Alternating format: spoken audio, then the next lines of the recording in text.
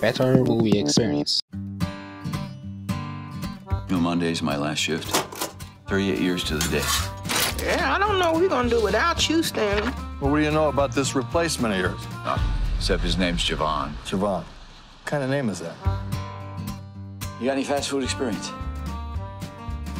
Just eating it. You know, I, I just don't think he's a good fit here. Javon, it's your responsibility and it's your job to train him. There's an art to the third shift. You gotta do a little bit of everything. Improvise. A big part of working here is teamwork. Teamwork? What are we, Crockett and Tubbs? That's game, baby. You know, my life was a whole lot easier before I met you. I worked my butt off, and you just float through life. You honestly think that this whole freeloading universe is out to get you? You're stuck in here, same as me. You know, the whole thing reeks of a failing autocracy. Yeah, I know.